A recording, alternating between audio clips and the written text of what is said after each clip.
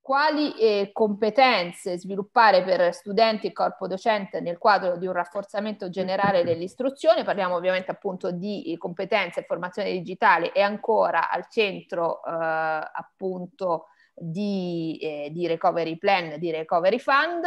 Eh, abbiamo moltissimi ospiti in questo appuntamento appunto live con EONews, siamo live non solo sui canali di EONews ma anche sul sito di radioradicale.it che ringrazio, sarà un appuntamento ricco di ospiti e anche eh, ricco di, eh, della vostra partecipazione. Ricordo che questo incontro lo potete seguire anche in altre lingue perché c'è la traduzione visto che i nostri ospiti eh, sono, uh, sono diversi. Ci sarà anche lo spazio per un confronto per partecipare a un sondaggio proprio relativo a questo tema. Eh, ovviamente poi dalla regia eh, mi daranno segno per raccontarvi del, appunto del sondaggio a cui andrete a partecipare e che leggeremo e seguiremo nel corso di questa, di questa diretta. Intanto introduco i nostri, i nostri ospiti. Grazie per essere con noi a Riccardo Nencini, senatore, del presidente della, senatore, presidente della Commissione di Istruzione. Grazie buongiorno, buongiorno dovrebbe eh, raggiungerci anche Victor Negrescu, eh, deputato europeo, c'è già con noi Suzanne Conse, eh, Commissione eh, dell'Unione Europea, ovviamente, Commissione Europea, capo dell'unità Country eh, Analysis in Education EIAC. Thank you. Grazie. Nice to be here. Thank you to be here. E abbiamo in collegamento anche eh, Stefano Versari, Ministero dell'Istruzione, Capo Dipartimento per il Sistema Educativo di Istruzione e Formazione, e ancora Antonio Ranieri, Centro Europeo per lo Sviluppo della Formazione Professionale, Capo eh, Dipartimento Learning and Employability. Grazie per essere con noi e grazie a uh, Valerio Mammone, direttore editoriale di Scuola Zoo. Insomma, capite anche dalla varietà dei nostri, dei nostri, ospiti che il dibattito sarà ricco e ricco di spunti.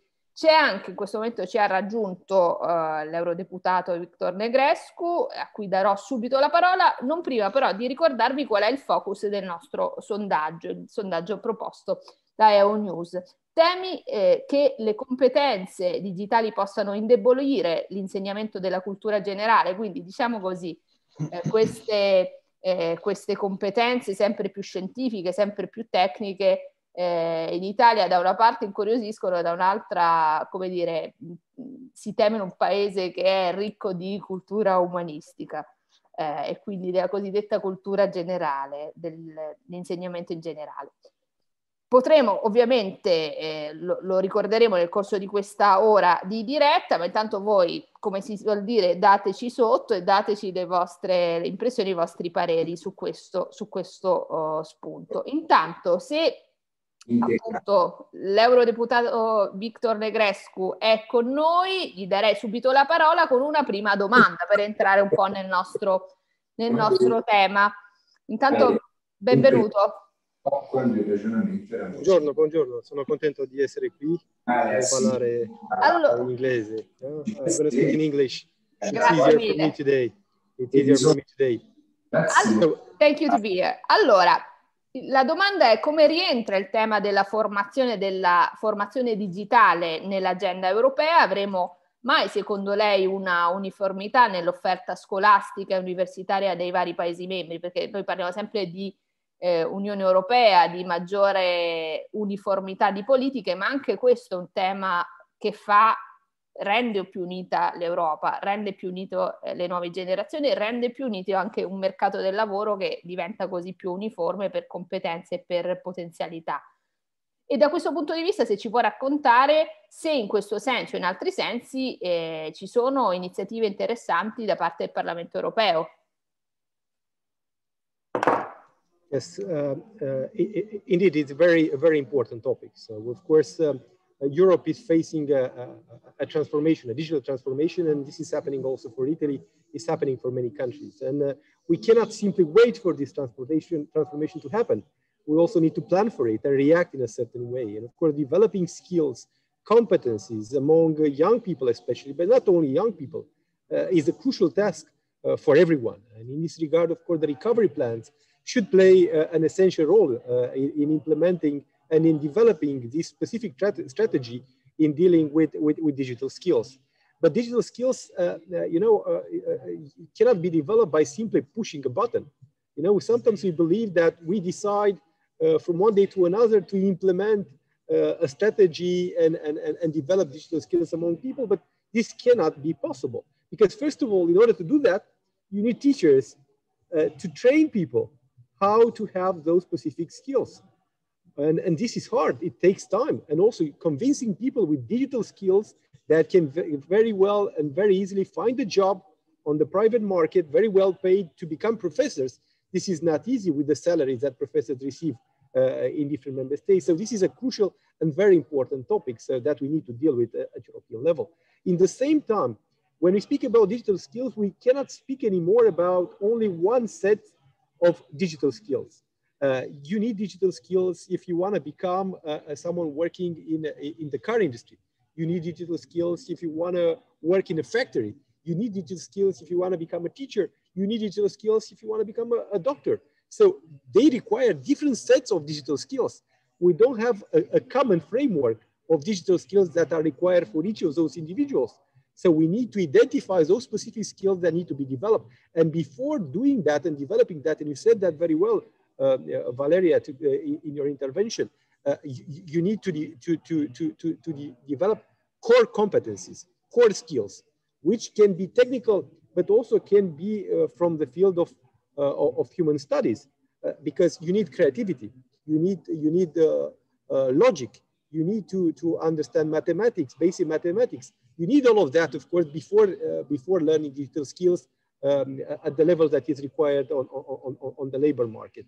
So, of course, in this regard, the European Parliament has developed uh, uh, a report that I have drafted. This is the reason why I have been invited today. I'm the vice president of the committee in charge of culture, education, youth, uh, media, and sports. And I also was a rapporteur in the European Parliament on, on digital education at European level. And in our report, we speak about those challenges but also we speak about the need to allocate adequate resources from the recovery plan. So we have the 20% allocation for digital transformation from each recovery plan that should be allocated as such by each member state.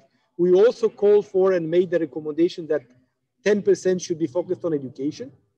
And we speak about, and we, we, we launched this initiative that the Commission also supports to have the digital education hub, so and, and, and stakeholders consultation platform so basically develop structures where experts in the field of digital education meet at national level, but also at European level and develop those specific strategies. We, we want to fix at European level clear targets. What is the level of digital skills that we want, want in each member state? And in my opinion, we should look at regions also, because there are some regions that are doing better and some regions that are not doing anything in this regard. We also have to speak about the, uh, the, the, the infrastructure that we have in place, uh, the tools that we have in place, the curriculum that we have in place for that. And this is very hard to deal with, especially at European level, because every country is developing their own choices. We also have to speak about the digital platforms, uh, but also we have to, to, to, speak about methods. Sometimes we ignore that, and that we need specific methods to train people uh, to use digital tools, but also to train people to have digital skills. Uh, so a, a lot of elements that can be done together, but we need synergies because there are wonderful things happening in Italy that I'm not aware about from, from Romania or from Brussels.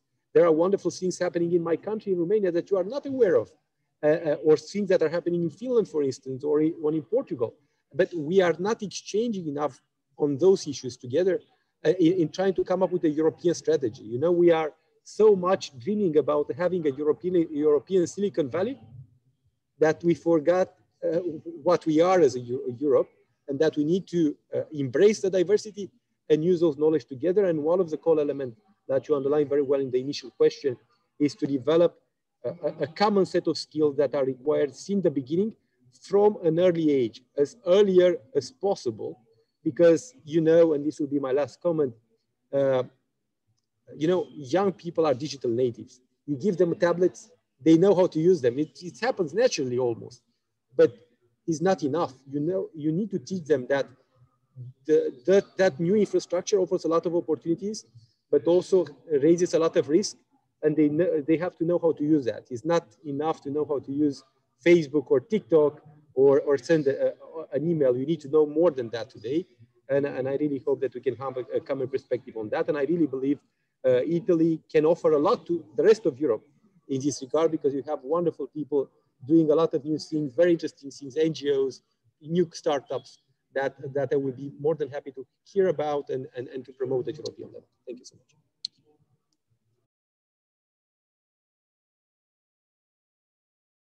microfono. Grazie, thank you Victor Negrescu. Le, le vorrei fare just last question uh, before you go, uh, perché so che eh, ci deve abbandonare presto. Uh, in che modo, secondo lei, diciamo, ha risposto in molti modi alla domanda che le ho fatto, ma diciamo che l'Europa ha un'offerta formativa molto ampia e molto diversa da paese a paese fino a qualche tempo fa eh, lo è ancora eh, e soprattutto prima della Brexit, ad esempio la Gran Bretagna ha rappresentato un altissimo livello, un benchmark per, per la, l'istruzione di qualità e probabilmente anche un'istruzione più votata alla, mh, non solo alla ricerca e, a, di alto livello, ma anche a, un maggiore, a una maggiore connessione con il mercato del lavoro.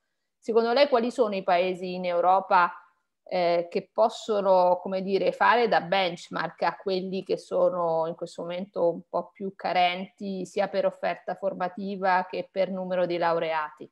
Perché sappiamo per esempio il nostro paese come l'Italia ha una grande tradizione universitaria, le, le università più antiche della storia, ma non sempre eh, diciamo, riesce a traghettare bene i propri giovani fino alla laurea e, e, non sempre li riesce a mettere in connessione con il mercato del lavoro, il mercato del lavoro del presente e del futuro.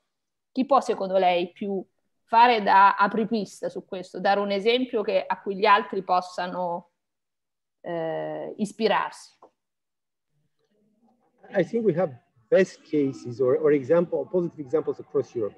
So for instance, my country has one of the fastest internet in the world in Romania. Estonia is really good in digitalizing the public administration. Finland is really good in digitalizing education. Uh, I, I, see France doing some great things in, in, in, developing SMEs in the field of the digital sector. Uh, I, I, see Greece welcoming uh, workers that are working remotely and they are doing things around that. So the, the, there isn't a country that is the perfect example in Europe. But each of the countries has things to, that we can learn from, uh, uh, and, and, and we, we have to know about that and, and, and, and, and promote that. So if I would be in Italy, very frankly, what I would search uh, into doing as a decision maker is really to look a little bit at the different countries, but also see the potential that you have. You know, I, I see that also in my country. Sometimes by living in my country, I, I, cannot, I do not always see the thing that I can, that country, the country is doing. But I see, for instance, Italy from outside. And for me, uh, from outside, I, I know, for instance, in Brussels, you have people that are very visible on digital issues.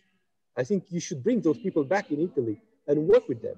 I met digital entrepreneurs coming from Italy that are very bright and they can be very good examples for young Italian people to, to, to, to, to, to be uh, encouraged in, in, learning digital skills because they are the, a positive example and everyone wants to uh, copy the positive example. So maybe you should, uh, you know, give them more visibility. In the same time, your universities, and again, I'm saying from outside, they are known all over the world and especially across Europe. And I think what needs to be done there also in investing more in, teachers having this digital, uh, uh, let's say, openness, uh, which is not always easy to change. I, am a university teacher. I, I, change my methods from time to time, but it's not easy and not an easy process and I would love to be helped. And I imagine Italian teachers, and I know many Italian professors, they want to be helped as well. So maybe encourages them, working with them together, you can identify the best solution with technical schools, but also with, with humanity schools, uh, because, because I, I, think there is a lot of potential. And I think you should trust more what you can do because uh, we looked at your recovery plan, for instance, and then you know, in your recovery plans, you have some great ideas on digital aspects. And I think uh, we, uh, from our side, being also a member in the Budgets Committee in the European Parliament, I'm really keen into seeing how you are going to implement those ideas because a couple of them are really good. Thank you so much. Hope so, hope so. Thank you, Victor Negresco, to be here. Grazie buon lavoro. Eh, intanto andiamo avanti nella nostra ora insieme di diretta, appunto qui sui canali di EU News e eh, sui canali di Radio Radicale it, siamo in diretta in entrambi eh, appunto i device, come si dice. E, intanto vi ricordo, prima di dare la parola a Riccardo Nencini, il tema del nostro sondaggio. Cioè, credete che le competenze digitali possano indebolire l'insegnamento della cultura generale? Insomma, in qualche modo riprendiamo appunto il match tra cultura umanistica, cultura generale e cultura mh, tecnico-scientifica. Grazie appunto a Riccardo Nencini, senatore, presidente della commissione istruzione per essere con noi. Le faccio, eh, faccio anche a lei eh, la prima domanda. Istruzione, parliamo di istruzione Next Generation EU. Dopo le difficoltà della pandemia è arrivato anche per la scuola in Italia un momento di svolta grazie ai fondi europei. Abbiamo visto una, una scuola in grandissima, in grandissima difficoltà eh, in questi ultimi mesi, non solo per le difficoltà che tutti abbiamo vissuto per la pandemia, ma perché insomma questo progresso digitale non era proprio arrivato, diciamo, il corpo docente non era, non era pronto alla cosiddetta DAD. Secondo lei quali sono i nodi difficili ancora da sciogliere per avere non solo una scuola che prepari alle sfide del digitale, ma che insomma riesca ad acciuffare un futuro che ormai è già qui, che sta cambiando le nostre competenze, i nostri nuovi lavori, il mercato del lavoro che abbiamo davanti. E aggiungo, finora il dibattito sulla scuola si è molto incentrato tra autonomia scolastica, necessità di più fondi, eh, ma eh, forse è meglio parlare di soldi meglio spesi e forse anche una valutazione capillare, non solo per gli studenti ma anche per il corpo docente. Domanda facile facile, Nenci. Microfono, mi raccomando. Buonasera e grazie, grazie per l'invito. Beh, dividerei il, il, problema in due parti per mettere mani e piedi nel piatto della minestra, come si dice in Toscana c'è una, una, condizione di eh, emergenza che bisogna affrontare e che l'Italia non ha affrontato con la decisione e, la, e considerando la scuola come prioritaria. È inutile girarci intorno. Abbiamo detto che la scuola è prioritaria, ma beh, insomma, non abbiamo avuto comportamenti tali eh, da mettere in campo misure, immagino ad esempio tutto il tema della logistica e dei trasporti, o le vaccinazioni immediate, tali da consentire al corpo docente, a ragazze e ragazzi di poter avere una presenza più alta in presenza che non in DAD. E quindi abbiamo sprecato beh, una buona parte dell'anno scolastico che si sta concludendo in questi giorni e quindi la transizione prevede che l'anno scolastico 21-22 possa partire, questo è auspicabile, in maniera decisamente diversa rispetto all'anno precedente. E quindi anche in questo caso trasporti, vaccinazione e sistemazione del mondo dei precari, che in Italia è un numero eh, eh, boh, in, in, in, incontenibile, eh? incontenibile. Dentro le misure che abbiamo indicato al governo come commissione, eh, dentro il recovery, eh, c'è una previsione anche di riforma scolastica. Eh, si parla di costruzione di nuovi edifici scolastici, ma legati a una nuova tipologia di didattica, ad esempio. Si parla, visto che l'Italia non è la Francia, noi abbiamo zone appenniniche estese, molto vaste, dove la chiusura delle scuole significa chiusura di fatto dei centri abitati e quindi vanno previste scuole di territorio. Per arrivare alla sua domanda, le indicazioni che abbiamo dato sono più matematica, nessuna rinuncia alla storia.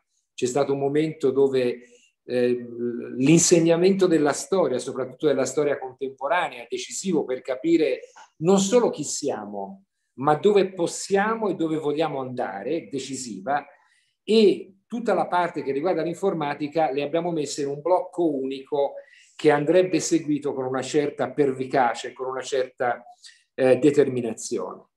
Secondo, abbiamo indicato alla RAI l'opportunità di mettere a disposizione un canale televisivo nel primo, nel secondo, nel terzo, ma la RAI ha una decina di canali disponibili per tutta la, la parte che riguarda l'alfabetizzazione digitale. perché c'è un problema sì di insegnamento di quella natura, ma c'è un altro problema. Noi abbiamo una percentuale altissima, siamo tra i, più, tra i, tra, tra i primi purtroppo in Europa, dove l'uso del computer è simile all'uso della macchina da scrivere, più o meno. Quindi tutta una serie di funzioni collaterali che si legano all'apprendimento e alla conoscenza ci vengono, siamo deprivati con una responsabilità soggettiva che non è indifferente. Terzo, la formazione dei docenti. Voglio sottolineare però subito un aspetto. Sì che i fondi del Piano Nazionale di, di Ripresa e Resilienza saranno importanti, ma nel corso della pandemia l'Italia ha già impegnato tra il marzo 2020 e l'aprile 2021 circa 200 miliardi nei vari settori della pubblica amministrazione, oltre che per ristori e sostegni. Una parte di questi, circa 2 miliardi, 2 miliardi e mezzo, sono andati alla scuola. Per consentirne l'apertura, ma per consentire anche un'adeguatezza del sistema digitale migliorando la relazione eh, fra nord e sud, perché abbiamo un sud dove questo servizio è abbastanza carente, e soprattutto mettendo denaro sulla formazione. Perché? Perché la DAD che abbiamo conosciuto nel corso di questi mesi non è la DAD che può rimanere in forma stabile. Lo dico in maniera ancora più chiara.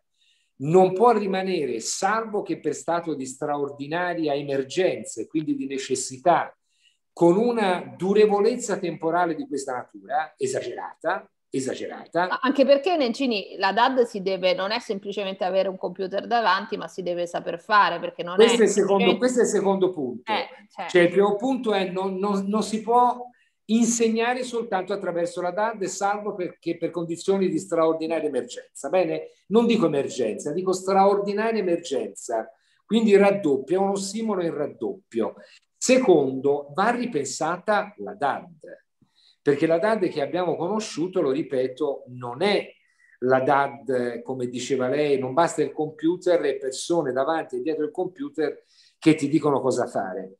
Beh, è un esercizio così elementare da reputarsi insufficiente per l'apprendimento. La condizione ideale quindi sarebbe tornare in presenza, A, B, consentire lezioni anche in DAD, ma con una DAD completamente diversa.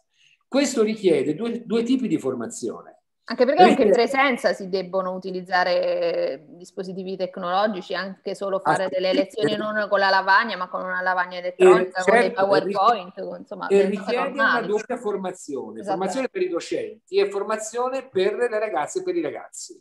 Non basta la formazione soltanto da un lato per chi deve insegnare, ma anche per chi deve recepire e per chi deve interloquire, perché l'insegnamento non è tizio parla e Kai ascolta, ma è un'operazione decisamente un, po più, un pochino più complessa e coinvolgente. E secondo sì. lei, appunto, toccando il, l'altro punto che le dicevo, ehm, la ricetta oggi per cambiare la scuola, al di là delle, appunto, delle integrazioni importanti su tecnologia, sarà più soldi meglio spesi e si continuerà sul terreno della buona scuola, quindi dell'autonomia scolastica, e possiamo aggiungere a questo anche un sistema di valutazione che funzioni, che metta anche in concorrenza gli istituti per scegliere, perché ognuno di noi sa che i propri figli o i propri parenti vanno in delle scuole buone o no, sostanzialmente per passaparola.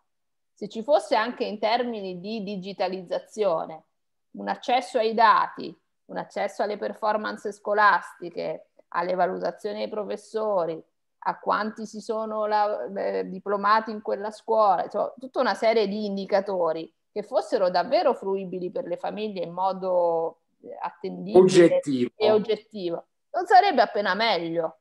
Beh, sarebbe tolgo l'appena ecco. e direi meglio.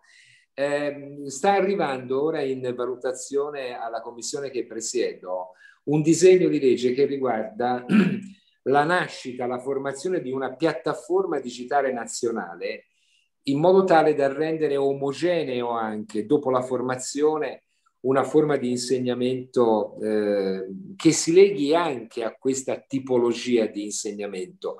Ripeto, la mia opinione è che renderla esclusiva sarebbe un errore omerico.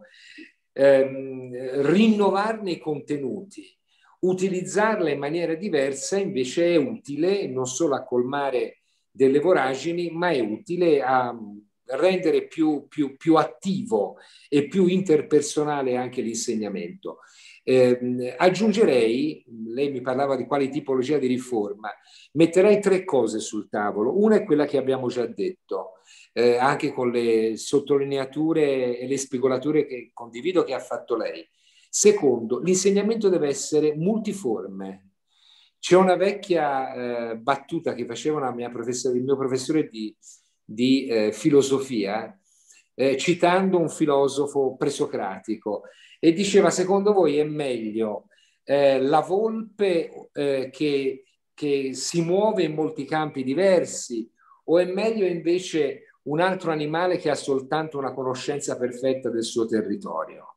Una conoscenza eh, beh, c'era un bellissimo film questo, su questo, una commedia di Alan Bennett, che eh, tra, trad- tradotta in un film bellissimo che chi non ha visto lo recuperi. Eh, perché, beh, è, un perché, perché è, una, è, una, è una versione, diciamo, commedia, ma neanche troppo, del cosiddetto attimo fuggente, che si chiama The History Boys, che eh, narra la storia di alcuni ragazzi che si preparano, uh, quello che è l'ultimo anno, l'equivalente dell'ultimo anno di liceo in Inghilterra, per affrontare mm. i famosi esami di Oxford e Cambridge, quindi per entrare nelle migliori università. C'è un professore che, che parla loro dicendo la conoscenza non è universale, la conoscenza o è specifica o non è e questo eh, mi sembra un buon eh, modo, modo, di intenderla. Beh, io tifo, io tifo invece per la categoria della multiformità. Eh. Sì, sì, lì invece dicevano, infatti questo è molto tipico della cultura anglosassone di cui parlavamo prima anche ah, con... So, so benissimo. Quindi so tro- benissimo. bisogna trovare un, un giusto mix tra la specificità, sì, anche perché molti di noi cambieranno lavoro probabilmente molte volte nella vita. e dovremo cambiare accanto al lavoro soprattutto un proverbio che è soltanto italiano, che è mogli e buoi dei paesi tuoi. Eh sì, certo. I proverbi molto spesso hanno torto, in questo caso questo proverbio ha avuto per lunghi anni legato all'Italia ragione. Siccome dobbiamo cambiare, dovremmo cambiare eh, talvolta o spesso lavoro nella vita i nostri figli, allora è meglio avere una, una multidisciplina a disposizione. La terza cosa riguarda gli insegnanti. Gli insegnanti non sono rispettati, non hanno uno stipendio che li faccia rispettare.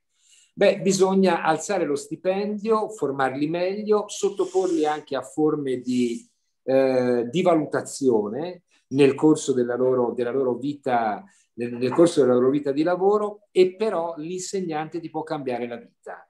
E siccome ti può cambiare la vita, beh, allora va pagato per quanto si deve, per quanto è giusto che sia, il merito.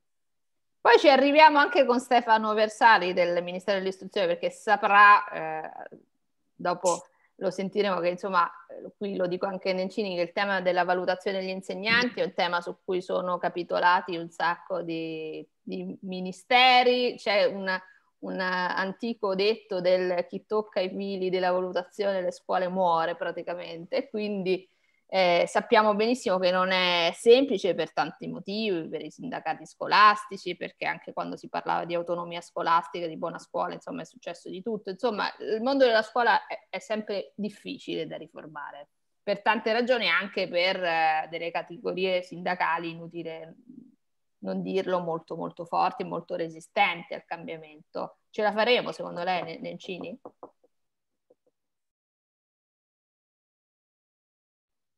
Non la sentiamo. Per gradi, ma con qualche strappo necessario. Mm. Per gradi, ma con qualche strappo. E l'emergenza è il momento probabilmente migliore anche per qualche strappo. Questo è il suggerimento. Grazie a sì. Riccardo Nencini. Ricordo, Grazie a voi, buon lavoro. Senatore, Presidente della Commissione Istruzione, buon lavoro a lei soprattutto. Grazie. E abbiamo adesso Susanne Conze, ehm, Commissione eh, europea, capo dell'unità Country Analysis in Education. E con lei eh, credo che potremo affrontare un po' più da vicino anche qualche dato, già che le chiedo che cosa emerge dai dati, dalle ricerche più recenti in tema di istruzione nell'Unione Europea. E abbiamo secondo lei intanto delle situazioni per livello, per livello di istruzione, per alfabetizzazione, per eh, rapporto scuola-mercato del lavoro troppo eterogenee, eh, dove si ras- riscontra diciamo, i, i, diciamo, i maggiori gap e in quali fasce della popolazione, in quali paesi europei, dal suo osservatorio. Okay, thank you very much. I, I try to to give an, a first try of an answer to that, and and the Um, I think the easy or the one sentence answer would be that all European countries face similar problems, maybe to a different extent. And um, there I would also second very much Mr. Negrescu saying that we can learn from different countries. So there's not a clear cut picture that one country is ahead of all the others or is performing much, much better and others would need to follow. It is rather that countries are facing same issues, but in, in different levels, different extent and, and looking for their different solutions.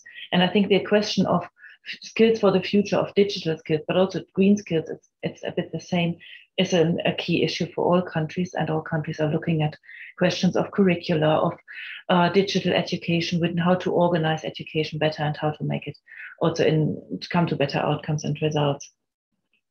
So on at European level, we have an exchange among countries, and that is that is very helpful. And uh, one of the results of this is also that the uh, Euro Commission, European Commission proposed um, a digital education action plan, which brings a little bit together these, these challenges which were already partly discussed in this round. So on the one hand, to invest in digital education as such, in the tools, in the content, but also to invest in the in the skills. Um, you asked exactly for data and what we know. And um, with data and comparable data, especially, it's always a bit tricky because surveys are not necessarily always up to date and, and sometimes they are a little bit older. So, for example, on digital skills, the last survey we have dates from 2018. And ICILS is the short form, the International Computer and Information Literacy Study. And there we see that, and this is a bit shocking, uh, that around one third of the 13 to 14 years old do not possess sufficient digital skills. And uh, one takeaway from that is that being a digital native, as it is often quoted, is not necessarily meaning that you have automatically uh, good digital skills. So there is overall and across the board the need to do something. In this uh, survey, not all member states have participated, but also when we look at the results, there are differences between member states, but there are also lots of difference within member states, and where young people from different backgrounds perform, of course, differently, and we see a quite a range and a quite scope there. In this context, we also have to, if we then, for example, go further on, on adult education, there the picture is even a little bit more daunting with more adults, and especially the older they get, uh, the less they have digital skills on the average range. But we also see both for children and for parents a quite um, quite, quite dramatic or quite clear uh, divide according to socioeconomic background. And I think this is also one thing which we have really seen in the crisis now and during the pandemic when countries had to move immediately to remote learning and uh, use digital tools. They were to a different extent prepared to do that. But what we saw that in many countries, a certain extent of young people, children simply could not attend because they were lacking connection at home. They had not broadband connection. They had not the right tools. There, there was not enough. There were not enough computers available for a family. A family maybe has one or two computers, but not uh, enough to, to serve for digital learning for all members of the family, plus maybe tele, teleworking from home and so on. So there, um, this is one thing where we have really seen that there's a need to invest in uh, also digital education on that level, very simple, and really to look also concretely at the um, at the availability of tools and, and at measures to avoid a digital divide and a growing digital divide in that context. Another point I think where, where we see difference in, in member states, um, of course, some member states had already started relatively early on in developing digital education. So they had, let's say, a little bit an easier start in the pandemic when the schools had to, or other, also other training institutions had to remote move to remote learning. But overall, we see also differences in the preparedness of teachers, the available, the, the yeah, the ability of teachers to move to digital learning, digital tools. So their teacher education, I think, comes very much into the fore of things to look at. Um, the, question of content I mentioned already, so that there's also enough digital content there, and that there are also enough contact, concepts for digital education. And I think this links very much to uh, the last speaker because um, I think there is not just a, a, kind of, of understanding that we have done something in the classroom, now we move it digital and we continue at the same time. Then we would completely underestimate the possibilities we have in digital education. And there is, is much more discussion, exchange needed how uh, remote learning, how digital education can also be of an additional benefit to schools by, for example, supporting more strongly uh, pupils with learning difficulties, to bring them in, to differentiate more in the classroom, to help and, and learn in a different way. And um, maybe I would leave it for the moment at this point. What we have also seen now in the last. Sì, le, volevo fare, le volevo fare una domanda se posso, proprio okay. perché mh, ha toccato un paio di punti molto, molto interessanti, cioè del tipo di insegnamento, quali sono i nostri gap eh, e però mi sembra che la pandemia abbia rimesso al centro il tema della formazione un po' per tutti, che sia una formazione di alto tipo, ma soprattutto che sia una formazione eh, digitale a distanza. Ha rimesso in gioco anche non le giovani generazioni, ma anche quelli che sono più in là con l'età.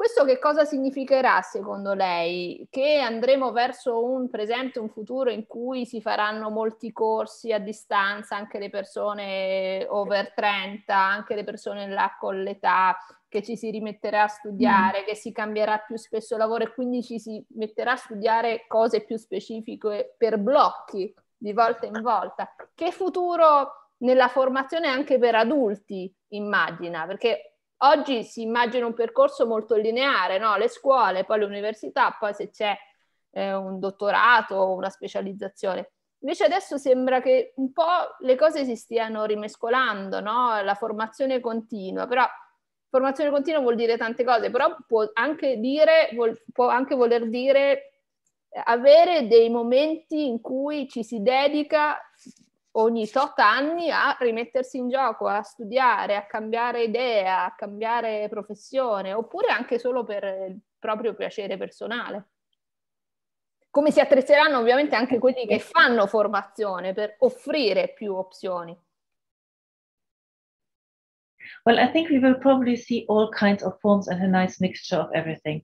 So on the one hand, uh, what, what has become clear, and not only due to the pandemic, but also due to all the changes we are experiencing now uh, worldwide, is that there is a need for upskilling and reskilling, as it is so nicely called. So for a constant um, improvement of your own skills, for a constant investment in that, simply for society to, to cope with all the challenges we are facing as societies, but also for the individuals to be employed, to be able to, to, to, to get employment, to, to be active in society and so on.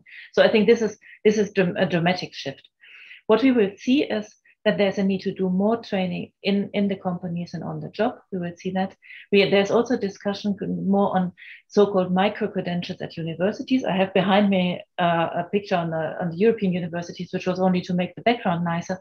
But the European, uh, but universities in Europe will play a key role to, to develop smaller modules of training for people who would need to upskill and to increase their um, um, competences within the job and being already in a career or maybe changing a career. So I think this this will be really more, but I'm not not really sure if it will be all digital and i think it doesn't have to be. I think we need to have a kind of mixture where we can combine it depending on the life situation of the of the learner. So if i'm very busy in my job and i can't go during the day to a training course i can't attend it digital learning might be an alternative for me it might be a com something complementary to um, a training course in presence. Some things we might not be able to move to a digital contact, especially if you go into the vocational uh, education and training. There, of course, you need much more hands-on things as, as, well.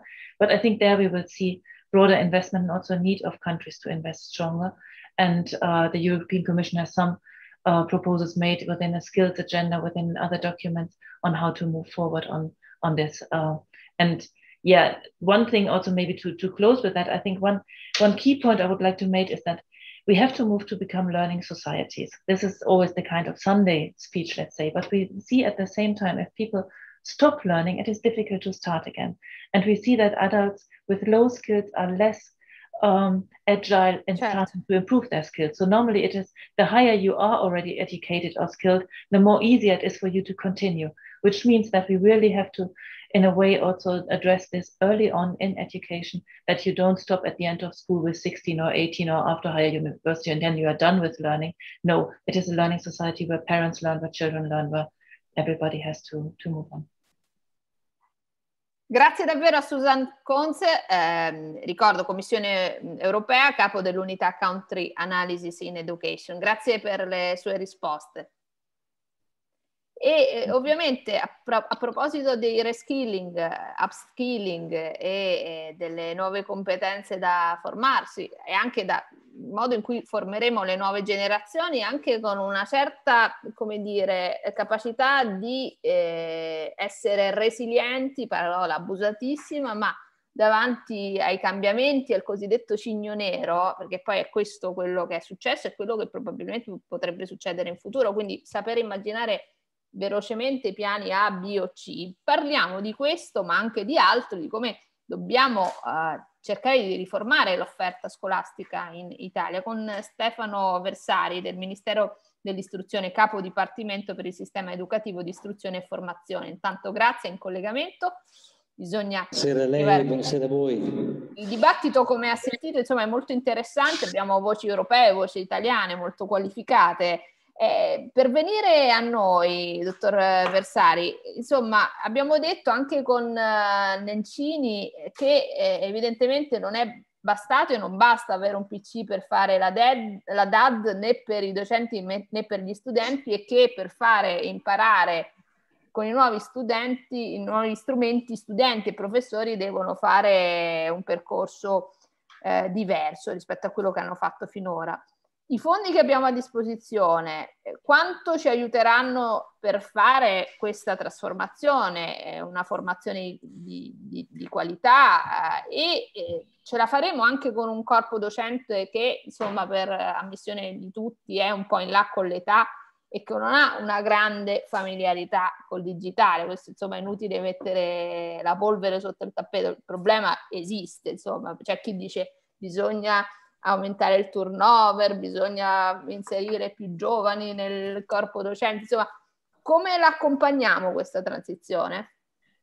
Mi pone una domanda di quelle... Sempre facili, qua solo quelle facili facciamo. Guarda, le risorse in realtà da almeno sei anni a questa parte sul tema della digitalizzazione sono molte, sono intense, sono importanti nel piano nel PNRR ci sono altri 800 milioni per eh, la digitalizzazione, ci sono 3 miliardi per la transizione delle scuole a 4.0, quindi la digitalizzazione appunto dei locali scolastici, perché il problema è non solo avere il computer, ma avere poi anche le connessioni e connessioni possibilmente ad alta velocità. Come sempre siamo un paese eh, abbastanza variegato al suo interno, eh, abbastanza è un eufemismo, eh, ma in realtà non è vero che non ci sia una competenza diffusa sul tema del digitale. Eh, ci sono moltissimi insegnanti che hanno queste competenze. Il problema, il punto è che noi abbiamo fra tutto, fra personale docente e personale collaboratori scolastici, la più grande impresa al mondo come numero di dipendenti. Noi superiamo il milione e centomila persone allora è chiaro che su un contingente così vasto di persone uno si deve dare, ci si deve dare dei tempi. E soprattutto abbiamo bisogno di crescere in riconoscimento e credibilità che negli altri paesi c'è e in Italia non c'è, ma non per demerito della scuola italiana, non devo difendere nessuno, se uno va a vedere gli indicatori OX noi non, non, eh, non demeritiamo rispetto agli altri paesi e c'è un'abitudine tutta italiana di ehm, di non apprezzare, di non stimare quello che si fa. Ci sono un'enorme quantità di esperienze innovative per il digitale a scuola, per l'utilizzo del digitale nelle scuole. Nel tempo Covid sono state fatte online decine di migliaia di corsi Eh, poi è chiaro, ci sono persone che non avevano competenze, che si erano attardate, ma d'altra parte noi abbiamo una legislazione che difficilmente ci impone, ci consente di imporre una formazione. E quindi eh, questo è un vulnus, ma in realtà il tema del digitale è saldamente nelle scuole italiane non per sostituire carta e penna, ma per integrare il percorso di insegnamento del docente senza il docente le nuove tecnologie non servono a nulla. Ecco, mi sentite. Ecco, le volevo chiedere un'altra cosa prima, insomma, poi di, di passare agli altri relatori. Pensa, lo chiedo, le faccio la stessa domanda che ho fatto anche a Nencini. Eh, pensa che il tema dell'autonomia scolastica e dei sistemi di valutazione saranno sempre più il futuro della scuola? Ci saranno da questo punto di vista dei cambiamenti? Ero nel, nel, gruppo di lavoro che vent'anni fa iniziò il primo uh, nucleo del sistema nazionale di valutazione. Noi abbiamo un sistema nazionale di valutazione di invalsi che ci è invidiato a livello mondiale. Il problema in questo momento non è avere le informazioni, avere i dati, ma è utilizzarli e saperli utilizzare. E prima ascoltavo eh, le cose che dicevate, per esempio, quante persone sanno che se uno va su un sito del Ministero dell'Istruzione, clicca scuola in chiaro e si trova per tutte le scuole italiane una marea di informazioni anche circa il valore aggiunto che fornisce la scuola. Il valore aggiunto è se tu parti da 10 eh, quanto io ti ho dato, perché se parti da zero e ti ho portato a 10 ho ottenuto grandi risultati, ma se tu partivi per un contesto di provenienza da 9 ti ho dato poco. Il calcolo del valore aggiunto è un calcolo estremamente complesso che arriva, deriva da tutte le valutazioni invalsi ed è pubblico, pubblico sulla scuola in chiaro. Basta aprirsi il sito e uno vede se quella scuola ha come valore aggiunto un valore aggiunto medio rispetto a livello regionale o rispetto a livello nazionale, superiore o inferiore, leggermente inferiore o leggermente superiore. Cioè ci sono una marea di informazioni. Quindi lei dice che bisogna farli conoscere di più, in realtà questa infrastruttura non c'è.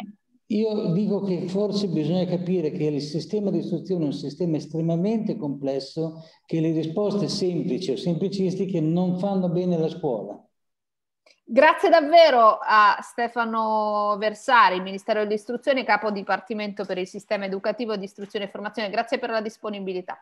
Grazie a lei. E allora andiamo verso i nostri ultimi due ospiti di questo, di questo dibattito lungo un po' più credo di un'ora qui su EONews e sui canali radioradicale.it. Eh, siamo in diretta, tra poco vi daremo anche conto del, dei risultati del sondaggio che abbiamo promosso eh, c'è adesso Antonio Ranieri, Centro Europeo per lo Sviluppo della Formazione Professionale, capo dipartimento Learning and Employability e parliamo con lui del rapporto tra formazione, lavoro del futuro e mercato del lavoro attuale, perché insomma adesso siamo in mezzo a un bel disastro, diciamo la verità, in Italia in particolare tra blocchi dei licenziamenti, litigi vari, gente che è stata ri- mh, licenziata, persone che si dovranno riorientare e, ri- e, imparare a fare nuovi mestieri, una scuola che ha funzionato a singhiozzi durante il periodo della pandemia. Siamo in una fase di una complessità, secondo me, enorme. Lei come orienterebbe le nuove professionalità e come legge questa fase di transizione dopo non solo la pandemia, ma dopo che avremo e incontreremo evidentemente le secche economiche e sociali della pandemia, nonostante gli aiuti, nonostante i recovery, perché insomma adesso iniziamo un po' a tirare la linea, a vedere eh, non solo purtroppo la conta dei morti dell'emergenza sanitaria, ma anche insomma i feriti e i caduti in battaglia del mercato del lavoro. Sì. Esatto. No, mi, mi, eh, mi, sembra una buona idea allargare un po' eh, l'inquadratura e, e sappiamo che stiamo attraversando una crisi del tutto anomala, eh, come si dice, partita dal lato dell'offerta che poi ha colpito in maniera simmetrica, che poi significa in maniera casuale dal punto di vista di una logica di tipo economico. E adesso ci aspettiamo una ripresa sostenuta, almeno per qualche tempo, eh, nuove opportunità. Però come se avvenisse perché arrivano i soldi, in realtà poi sì, arrivano i soldi, però noi dobbiamo essere anche bravi, come dire, a prevedere quali che saranno i settori che andranno meglio, cioè in questo no, senso... Eh, Hai ragione perché in parte avviene semplicemente in maniera naturale, per il semplice fatto, proprio per l'anomalia della crisi, della sua imprevedibilità, è molto prevedibile quello che accade, tutta una serie di settori riprenderanno quei Si rimbalza, poi però bisogna tenere. Esatto, allora il problema del tenere ovviamente è cogliere le nuove opportunità e, e queste nuove opportunità che ci saranno anche grazie ai soldi, ai, ai soldi significa a un recuperato ruolo delle politiche pubbliche, eh, eh, però saranno anche molto diverse, non saranno semplicemente che ritorniamo a quello che c'era prima e ricominciamo a lavorare, avremo eh, bisogni anche da un punto di vista del tipo di competenze che in gran parte saranno anche eh, cambiati. Paradossalmente, se vogliamo, anche per effetto gli effetti che nel tempo produrrà lo stesso recovery plan, perché se è vero che abbiamo un recovery plan fortemente orientato all'innovazione, alla transizione digitale ed ecologica, questo cambierà le carte in tavola del mercato del lavoro e quindi aumenterà ancora di più il bisogno di, accelererà il bisogno di cambiamento anche delle competenze eh, della popolazione. Quindi per tutti i motivi che sapete, non, non, sappiamo quello che abbiamo passato in questi uno o due anni e mezzo, eh, avremo, ci aspettiamo chiaramente una forte accelerazione della diffusione delle tecnologie digitali, l'emergere di nuovi lavori, la scomparsa di alcuni lavori rutinari, diciamo così, ci aspettiamo maggiore necessità di profili specializzati nelle nuove tecnologie, maggiori competenze digitali in molte professioni, però il punto più grosso rispetto al, al tema di oggi è diciamo, la necessità per tutti di avere almeno delle competenze digitali di base come requisito minimo per partecipare, per partecipare al mercato del lavoro, per partecipare alla società. Quindi è chiaro che costruire, diciamo così, una popolazione con competenze digitali adeguate è una precondizione, non c'è dubbio su questo, siamo tutti d'accordo. Io e però... quello che diceva appunto Susan Conze sulla formazione continua, perché poi qui bisogna, come dire, non solo studiare all'inizio, ma studiare durante e dopo e anche prepararsi ad avere i piani A, B e C. Assolutamente, noi stiamo battendo sul tema della, diciamo, della, formazione degli adulti e della formazione continua eh, in una maniera ossessiva perché secondo noi c'è pochissima attenzione rispetto alla necessità. Dovrebbe essere normale per gli adulti fare l'equivalente di quello che fanno i giovani, cioè andare a scuola, per loro è normale, anche per gli adulti dovrebbe essere normale. Però proprio pensando a quello che ha detto Susan, che ha eh, citato la, il tema della digitalizzazione, eh, noi stiamo 10 punti sotto la media europea come popolazione e questo vale anche se stringiamo il fuoco sui giovani, siamo sempre 10 punti sotto, 10 punti sotto rispetto alla media dei 27 paesi europei, non alla media dei nostri competitori più diretti, quindi stiamo non messi male, e quando andiamo sul, nella scuola, guardiamo agli studenti, eh, noi giovanissimi li consideriamo nativi digitali perché ci sono nati, ne fanno uso, ma eh, non solo a intuito, ma anche proprio l'evidenza come centro di ricerche, eh, vorrei dire due cose da questo punto di vista, l'evidenza ci conferma la nostra intuizione, cioè il semplice uso spontaneo, non guidato delle tecnologie digitali non è affatto sufficiente ad acquisire livelli di competenza adeguati. Eh, avere semplicemente dispositivi, utilizzarli, non porta i ragazzi a imparare come usare le tecnologie in maniera critica e soprattutto, che è il punto, come trasformare le informazioni che raccolgono in conoscenza. E questo in parte ce lo dicono anche i ragazzi perché in altri studi quando si autovalutano e loro stessi ritengono sì di avere una certa padronanza se si tratta di competenze digitali legate alla comunicazione e collaborazione, ma quando si parla di competenze legate alla creazione di contenuti digitali e soprattutto a risolvere i problemi utilizzando le tecnologie, loro stessi non si sentono granché eh, competenti. E quindi ci dobbiamo, dobbiamo fare affidamento sui nostri insegnanti. Adesso se, se, se ho due minuti per dire due cose sui nostri insegnanti guardandolo in una prospettiva internazionale. Sì, due minuti perché poi diamo la parola anche a Valerio Mammone. Prego. Però è evidente che, eh, diciamo così, avremo bisogno di insegnanti che abbiano familiarità con le tecnologie, siano positivi nell'utilizzo delle tecnologie a fini pedagogici e che abbiano delle istituzioni scolastiche che abbiano un approccio collaborativo all'uso delle tecnologie eh, digitali ai fini dell'insegnamento. E tutti i nostri dati ci dicono che poi loro, in fin dei conti, non si sentono eh, così preparati, non si sentono così disponibili a far utilizzare queste cose nell'ambito delle attività didattiche e quindi potremmo dire hanno bisogno di formazione come è stato detto prima. Io il punto che vorrei fare, e poi chiudo Valeria, prometto, è che eh, l'impressione da tutte le, le analisi che facciamo è che forse il problema non sia fare formazione, nel senso il problema non sia fare i corsi di formazione. Eh, sappiamo che eh, ci sono altre cose, altre modalità di apprendimento che per gli insegnanti sono chiaramente più utili. Eh, sappiamo che gli insegnanti trovano più attraenti ed efficaci attività meno strutturate, anche di natura puramente informale, che possono essere svolte in modo flessibile, eccetera, e soprattutto diciamo così, ehm, sappiamo che funziona tantissimo la partecipazione a reti professionali, a forme di collaborazione, certo. scambio, eh, andare a vedere le altre scuole, parlare con gli altri a livello del territorio nazionale e internazionale. Insomma, per chiudere, chiudo proprio, diciamo, il punto che vorrei fare è che si tratta di organizzare un sistema di offerta, di riconoscimento e di incentivi all'apprendimento professionale che sia rafforzato, sì, ma non è il punto di quanta benzina ci mettiamo, ma sia rafforzato nelle sue componenti più innovative. Grazie ad Antonio Ranieri, ricordo Centro Europeo per lo Sviluppo della Formazione Professionale, Capo Dipartimento Learning e Employability. Arriviamo, dulcis in fondo, ma è davvero un piacere, eh, a Valerio Mammone, direttore di Scuola, eh, di scuola Zoo, direttore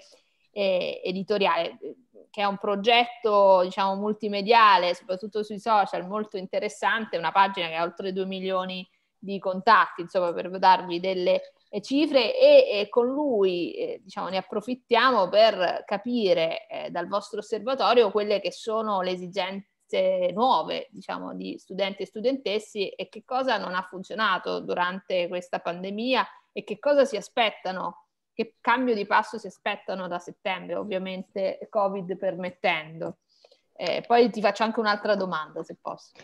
Certo, prima di tutto grazie per l'invito, direi che il mio intervento è un po' il più difficile di tutti perché arrivo dopo esperti, persone delle istituzioni, per cui è davvero difficile dire qualcosa che, insomma, che poi resti impresso e che aggiunga al valore che è già stato portato. Cercherò di farlo facendo quello che diciamo, mi riesce meglio grazie mh, alla realtà eh, di cui sono direttore, che è Scuola Zoo, eh, che come dicevi correttamente è una, una delle più grandi, la più grande community di studenti in Italia abbiamo 5 milioni di follower sui social, e una rete di rappresentanti di istituto, quindi una rete, una community fisica eh, che mh, negli anni ha toccato i 5.000 studenti in tutta Italia.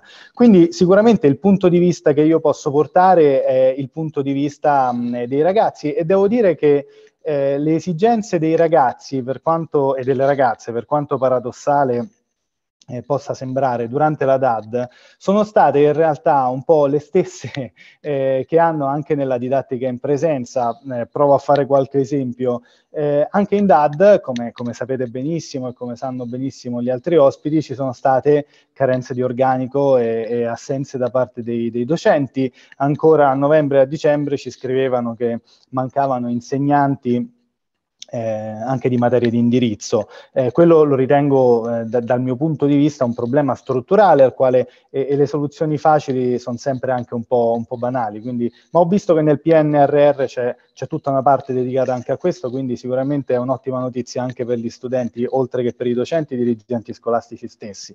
Poi, eh, diciamo, l'altro tema che, che, emerge spesso nelle conversazioni con i, con i ragazzi è che alla fine è il modello didattico che conta, in DAD quanto in presenza. Eh, prima, altre persone prima di me hanno evidenziato come la didattica frontale, quindi con il trasferimento, il travaso quasi di, di conoscenze eh, dal, dal docente allo studente, sia un modello che inevitabilmente finisce con l'essere poco ingaggiante per lo studente. Immaginiamoci, parliamo di eh, nativi digitali che a volte stanno su tre, schermi, su tre, schermi, contemporaneamente. Ecco, questo è un qualcosa di vero in DAD, perché immaginiamo un ragazzo che sta per sei ore davanti a un computer e sente, ad, alternandosi sei persone che parlano verso di lui inevitabilmente finisce con l'avere un calo d'attenzione, ma questo è vero anche a scuola. Eh, la stessa cosa succede anche, anche, tra i banchi, per cui mi sento di dire che forse il tema non deve essere tanto, eh, scusatemi se magari dico una banalità, perché ripeto, io sono il direttore di una testata e non un esperto,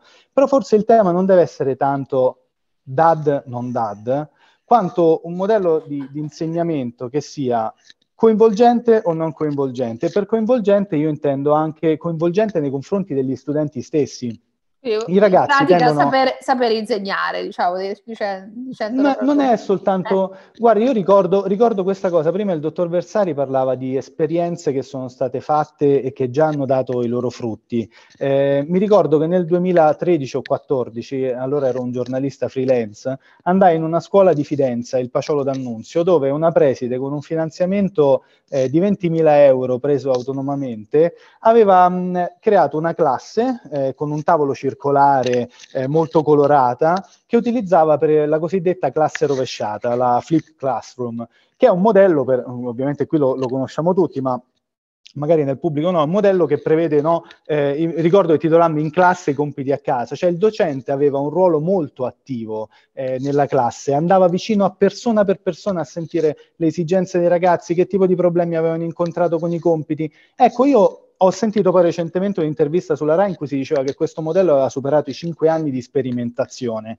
eh, per cui evidentemente è stato adottato da molte scuole. Però la, la cosa che mi chiedo è, questi modelli che poi si rivelano virtuosi vengono poi adottati su esatto. larga scala oppure no? È una domanda che faccio veramente senza sapere la risposta. Da quello che mi arriva dai ragazzi, ecco, deduco che non sempre sia così, ma al tempo stesso deduco anche che ecco, questi modelli di, eh, di didattica coinvolgente, eh, ehm, cooperativa da un certo punto di vista, possano essere la chiave da una parte per i ragazzi per sentirsi più coinvolti, più attivi e per far sì che il processo di apprendimento sia un qualcosa che nasce durante le lezioni, che nasce durante il percorso didattico. Dall'altra, penso, ricordandomi anche le interviste dei docenti, penso che questo possa essere anche una chiave per rivalutare il ruolo straordinario che gli insegnanti hanno. Ovviamente in queste sedi si tende sempre a mettere in evidenza no, ciò che non va. Questo per certi versi è stato per la scuola un anno incredibile, di una prova di grande resilienza in cui veramente la scuola pubblica eh, ha riaffermato il suo grande valore. Non era scontato riuscire a fare quello che poi si è fatto. Però ecco, quello che mi viene da dire, uno spunto dai ragazzi eh, per, per, settembre non è soltanto quello di risedersi fra i banchi, e quello ce lo auguriamo tutti perché c'è stata una perdita di socialità eh, che ha avuto e, e, spero non avrà, ma ho quasi la certezza che avrà un, un impatto forte su questa generazione. Però ecco, io spero che eh, quello che auspicano per il ritorno in classe è sentirsi più coinvolti. Ecco, e, e credo che le chiavi per eh, attivare diciamo, questa sinergia siano già state individuate e magari grazie al PNRR saranno effettivamente estese su larghissima scala. Grazie, ti volevo fare un'ultima domanda, se hai su questo qualche suggestione o qualche impressione sempre dal vostro osservatorio di Scuola Zoo. Eh, noi siamo un paese un po' particolare, un po' bizzarro, in cui studiare di più non sempre eh, consente di trovare lavori migliori o lavori più remunerativi. Le nuove generazioni, quelle che diciamo teoricamente dovranno andare verso appunto gli ultimi anni di liceo o di istituti tecnici, come guardano al proseguo degli studi, agli studi universitari o magari agli ITS, visto che su questo c'è un'importante scommessa anche sul PNRR anche da parte del governo Draghi, anche perché dicevamo sì, va bene la, eh, la, competenza, la cultura generale, ma poi appunto bisogna avere delle competenze scientifiche, specifiche, tecniche che saranno sempre più richieste in questo nuovo mercato del lavoro. In molte regioni eh, del nord, penso all'Emilia Romagna, ma anche al Trentino, gli ITS hanno diciamo, dei dati molto buoni eh, anche per chi deve trovare lavoro. Come si stanno orientando su questo le nuove generazioni? Beh, allora, mm, per quella che è più che la mia esperienza da direttore, quanto quella da ormai datatissimo, io sono in un'aula scolastica adesso, ma ho più il physique du role di un, di un docente che non di uno studente, però io ricordo che eh, i percorsi mh, eh, di, di, professionalizzanti, almeno in quello che era il mio contesto, venivano sempre guardati con, come percorsi di serie B. In realtà poi, vedendo i dati, eh, 80% di occupati alla fine del, del, percorso, insomma, si evince che possono essere un asset eh, gigante per, anche per il sistema Italia, un sistema con tanti NIT, con tantissimi eh, disoccupati nella fascia 18-24. Quindi, allora, secondo me, que- è rimasto questo, mh, chiamiamolo stigma originario, ma al tempo stesso l'informazione che ehm, è stata fatta recentemente, l'ITS sono, li ha nominati il Premier Draghi, ma sono, sono finiti anche in tanti, in tanti, articoli, ecco, contribuirà forse a, a farli vedere sotto una luce, una luce, diversa.